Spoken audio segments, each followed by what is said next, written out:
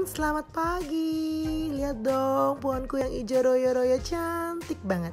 Oh ya guys, aku menggunakan botol bekas Herbalife nih guys. Bisa digunakan jadi wadah tanaman. Dari dulu aku selalu menginfokan dari barang-barang bekas bisa menjadi berdaya guna. Kalau dulu aku pakai botol bekas aqua ya guys, botol bekas aqua dijadiin tanaman tempat wadah tanaman hidroponik.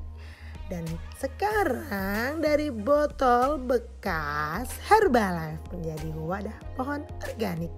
Wah seneng gak guys? Di halaman rumah ada tanaman sayur sehat, ada tanaman buah sehat. Seneng banget. Lihat tuh guys, ijo-ijo, seger banget. Bebas pestisida dan bebas cacing nih guys. Wah pohonnya bersih disiram dengan air bersih. Untuk keluarga, hmm, seneng gak? Oke deh guys, semoga infonya bermanfaat. Thanks for watching. Bye.